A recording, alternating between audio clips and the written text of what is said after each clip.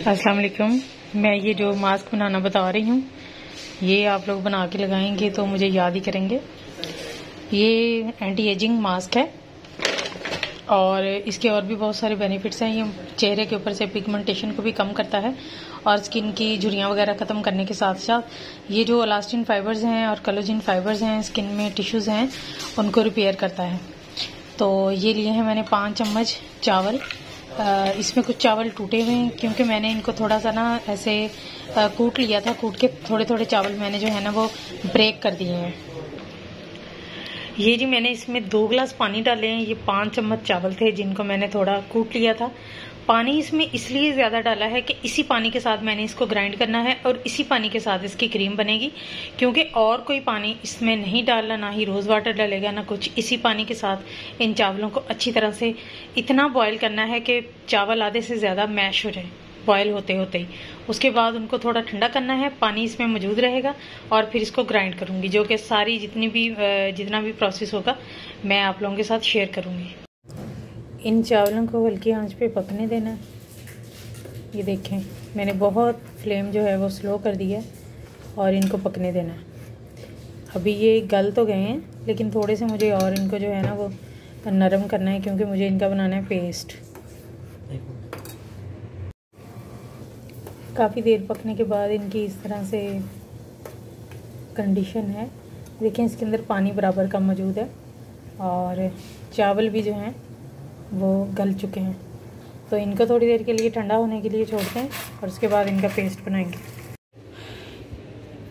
अभी मैंने इसको ग्राइंडर में डाला है और ग्राइंडर में डालने के बाद यहाँ मैं आपको दिखाती हूँ, चौथाई हिस्सा यहाँ पे पानी का ऊपर मौजूद है। ये वही सेम वाटर है, चावलों का इसके अंदर पानी ऐड नहीं करना। उसकी रीज़न ये है कि जब इसके अंदर कोई और पानी ऐड होगा तो इसकी क्वालिटी जो है वो हाफ़ हो जाएगी।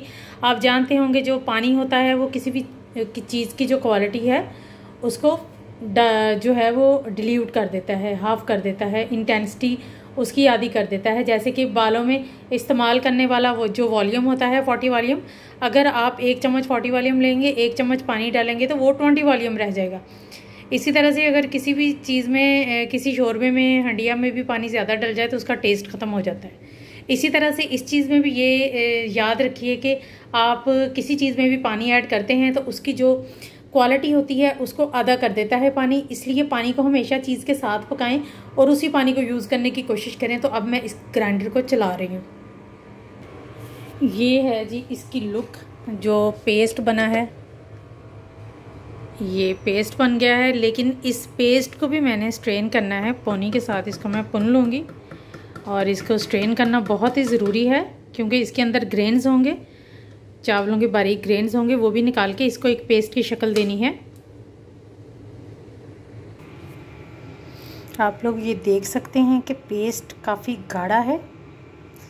मैं शो भी करा देती हूँ। ये देखें, ये काफ़ी गाढ़ा पेस्ट है। इतना ही थिक चाहिए। इससे पतला नहीं करेंगे, क्योंकि इसके अंदर जो एक दो और चीज़ें ऐड होनी है, उसने इसने उसके साथ इसने थोड़ा सा और जो है वो पतला होना है माइल्ड होना है। चावलों के बाद सेकंड इसका इंग्रेडिएंट है अंडे की सफ़ेदी। और इसकी जर्दी को बिल्कुल भी ऐड नहीं करना है, सिर्फ़ अंडे की सारी, एक अंडे की पूरी सफ़ेदी ऐड करें। जितनी चीज़ें भी आपने ऐड करनी है, वो यानी कि नेचुरल और जैनवन होनी चाहिए। उनमें कोई जो है, वो मिलावट नहीं होनी चाहिए। ना पानी, ना रोज़ वाटर ना कुछ कुछ भी नहीं।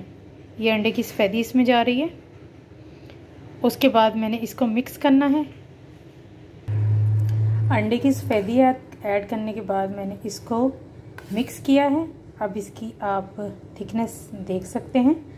अभी इसमें ऐड होगा हाफ़ लेमन, यानी कि लीमू का रस, और लीमू का आधा लीमू इसमें निचोड़ा जाएगा, ज़्यादा नहीं, आधा। और इसकी लाइफ है आपकी फ्रिज में रख कर या ठंडक में रख कर इसकी जो लाइफ है, वो है जी तीन दिन। इससे ज़्यादा इसको रखना नहीं चाहिए, और इससे ज़्यादा आप ये भी देखें कि कोई चीज़ भी जो नेचुरल होती है, उसकी ज़्यादा लंबी लाइफ नहीं होती, ठीक है?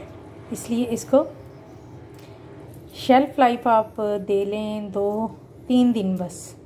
और फ्रिज में रखने के बाद पाँच दिन कर लें। बस इससे ज़्यादा नहीं। क्या आपने बना के रख लिया तो उसको इस्तेमाल करेंगे? इसका वो असर नहीं रहेगा। जो असर इसका पहले दो तीन दिन में या पाँच दिन में होना है, उसके बाद इसका वो असर नहीं रहता। नेक्स्ट इंग्रेडिएंट इसमें जाएगा हल्दी। इसमें तकरीबन एक चाय का चम्मच हल्दी जाएगी। और जितने भी मैंने इसमें इंग्रेडिएंट डाले हैं, आप को पता होगा कि इनके कितने फ़ायदे हैं। फ़ायदे मैं बयान नहीं कर सकती। लेकिन ये एजिंग जो स्किन होती है लूज़ स्किन झुरियों वाली स्किन पैचेस वाली स्किन पिगमेंटेशन वाली स्किन या जिनके आईब्रो जो हैं, वो ढलक जाते हैं स्किन लूज़ हो जाती है। उसके लिए ये जो मास्क है, ये बेस्ट है। इसको वीक में टू टाइम इस्तेमाल करें, यानी कि आज एक दिन बना लिया है तो तीन या चार दिन के बाद इसको दोबारा इस्तेमाल करें। उसके बाद अगले हफ़्ते के लिए दोबारा नया बना लें। ठीक है? तो इसके साथ पहली दफ़ा में ही बहुत फ़र्क पड़ेगा। इसको लगाना है एक घंटे के लिए। ये मैं इसको एक कंटेनर में डाल रही हूँ और मज़ीद इसके बारे में ये कि इसको एक घंटा लगाना है, इसके साथ स्किन जो है वो थोड़ी सी ड्राई हो जाएगी, अकड़ जाएगी, घबराना नहीं है। एक घंटा लगाएँ और लगाने के बाद इसको स्किन को वेट करें और वेट करने के बाद जो है, वो इसको रिमूव कर दें। और इसके रिज़ल्ट्स मेरे साथ शेयर करिएगा कमेंट बॉक्स में। थैंक यू फॉर वॉचिंग अल्लाह हाफिज़।